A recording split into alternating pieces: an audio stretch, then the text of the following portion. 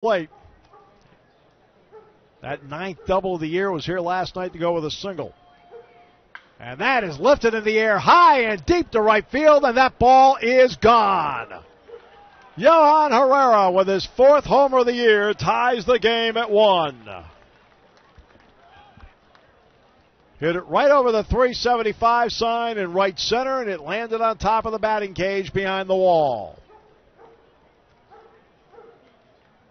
So a two out solo homer to right center, and that will bring Paul Brands to the plate. Did not play in last night's game.